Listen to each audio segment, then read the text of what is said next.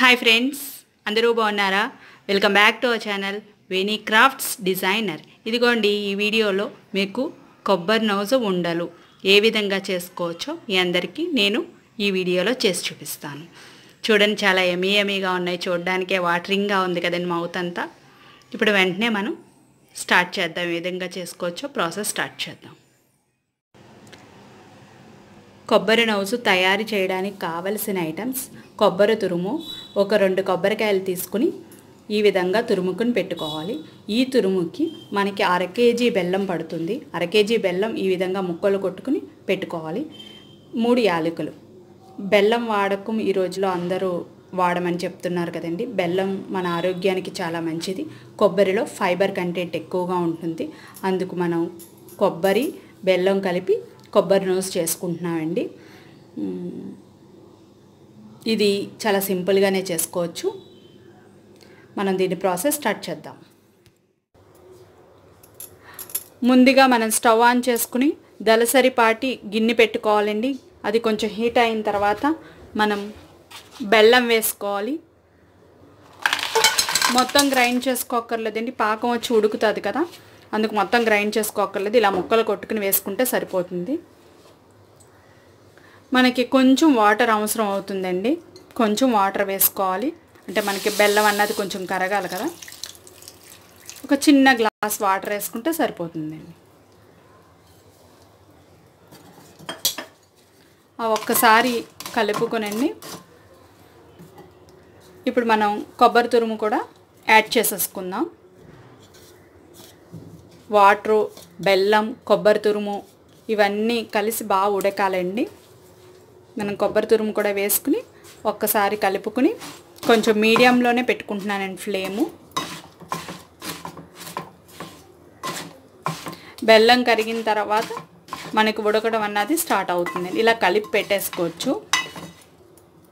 దీనికి సపరేట్గా పాకం తయారు చేసి కొబ్బరి అందులో యాడ్ చేయడం ఏం అక్కర్లేదండి ఇలా కలిపి పెట్టేసుకుంటే మనకి బాగా ఉడుకుతుందండి. బెల్లం కరిగే వరకు మనం హైలో పెట్టుకోవచ్చు స్టవ్.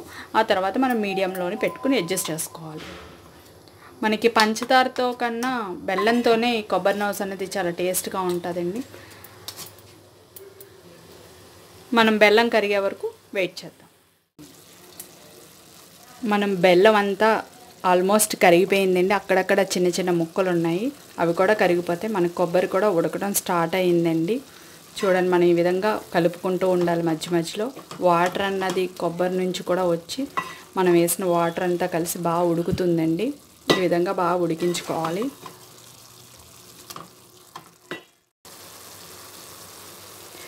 మన బెల్లం అంతా కరిగిపోయిందండి. ఆ కరిగిపోయిన వాటర్లో మన కొబ్బరి అంతా ఉడుకుతుంది. మనం బాగా ఉడికించుకోవాలండి. మనకి బెల్లం అన్నది బాగా పాకంలో వచ్చి మొత్తం ఇదంతా బాగా ఉడికండి. బొండ అయ్యేలాగా రావాలండి. మనం చేసుకుంటే లడ్డూలాగా రావాలండి. అప్పుడు మీకు ఎన్ని రోజులైనా స్టోర్ ఉంటుందండి. ఒక ఫిఫ్టీన్ ట్వంటీ డేస్ వరకు స్టోర్ ఉంటుంది. ఏమీ పాడవదండి. మనం సరిగ్గా ఉడికించుకోకుండా కొంచెం వాటరీ వాటరీగా అలా ఉంచుకుంటే గొమ్మను పాడైపోద్దండి. మనం పాకం వచ్చి ఉడికితే ఎన్ని రోజులైనా మనకి నిలవ ఉంటుందండి. లడ్డూలు చాలా బాగుంటాయి. కొబ్బరి నూస్ లడ్డూలు. అందుకు మనం మీడియం ఫ్లేమ్లోనే పెట్టుకుని కుక్ చేసుకుంటున్నామండి అంటే హైలో పెడితే కిందంతా మాడిపోయినట్టు అయిపోతుందండి అంటుకుంటుంది. మన మనం మీడియంలో కుక్ చేసుకుంటే చూడండి. ఈ విధంగా కలుపుకుంటూ కుక్ చేసుకోవాలండి. బాగా కుక్ చేసుకుంటే మనకి లడ్డూలన్నీ కరెక్ట్ షేప్ అన్నీ వస్తాయి మంచి టేస్ట్గా. కొంతసేపు వెయిట్ చేద్దాం. మనకి కొబ్బరి నూస్ తయారవడానికి ఒక హాఫ్ అన్ అవర్ టైం పడుతుందండి. మనం మీడియం ఫ్లేమ్లోనే పెట్టుకుని చేసుకుంటున్నాం. మన మనం ఏం కంగారు పడకుండా స్లోగా చేసుకుంటేనే ఏదైనా పర్ఫెక్ట్గా వస్తుందండి. ఇది డార్క్ కలర్లో మారుతుంది చూడండి. ఇక్కడ పైన అంతా లైట్గా ఉంది లోపలంతా చూడండి. మనం ఇలా మీడియం ఫ్లేమ్లో ఎక్కువసేపు కుక్ చేసుకోవాలండి. పాకం వచ్చి ఉడికేంత వరకు. మనం ఇలా పది నిమిషాలు ఉడికించుకున్న తర్వాత చూడండి వాటర్ అన్నది ఏమీ లేకుండా ఇది కూడా గట్టి పడుతుంది. మంచి కలర్ వచ్చింది చూసారా? మనకు ఆల్మోస్ట్ రెడీ అయిందండి. మనకి ఎక్కడ వాటర్ ఏమీ లేకుండా మొత్తం పాకంతో బాగా ఉడికిందండి. ఉండయ్యే కన్సిస్టెన్సీ వచ్చింది. చూడండి. మంచి కలర్ వచ్చింది మంచి స్మెల్ వస్తుందండి. మనం ఇందులో నెయ్యి ఏం కూడా యాడ్ చేయట్లేదండి. కావాలంటే మీరు యాడ్ చేసుకోవచ్చు.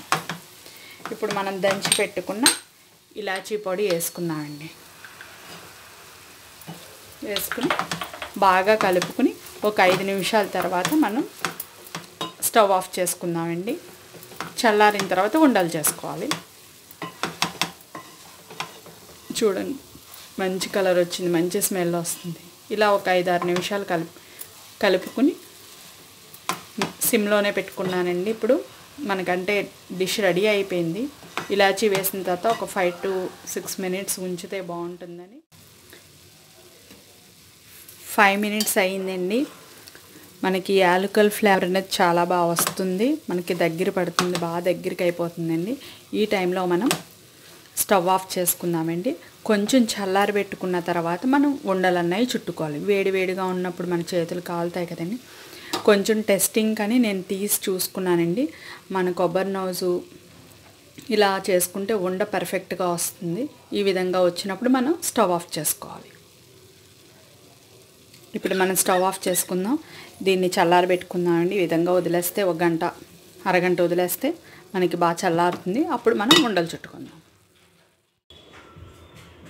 మన కొబ్బరి నోజు బాగా చల్లారిందండి. ఇప్పుడు ఉండలు చుట్టుకోవాలి ఈ విధంగా.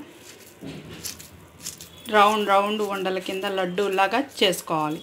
దానిపైన డెకరేషన్ కోసం నేను ఒక జీడిపద్ద అంటించుకుంటున్నాను. ఈ విధంగా రౌండ్గా చేసుకోవాలి. అలా అన్నీ కంప్లీట్ చేసుకోవాలి.